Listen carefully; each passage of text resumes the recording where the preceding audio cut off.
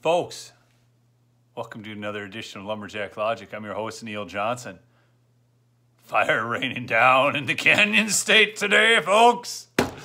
Brnovich, I know we all wondered about this guy.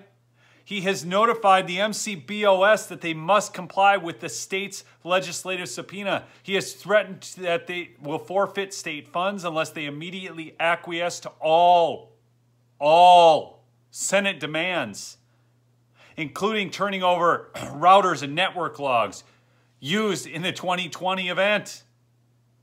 The Arizona AG official, we are notifying the MCBOS that it must fully comply with the Senate's subpoena as required by the law. Our courts have spoken. The rule of law must be followed. The rule of law.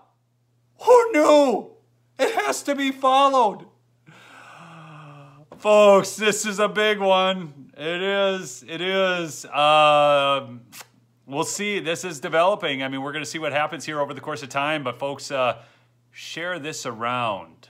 All right. I love y'all. Peace out. Remember to subscribe to the links down below and this channel. And just, all right. Talk to you later. Bye.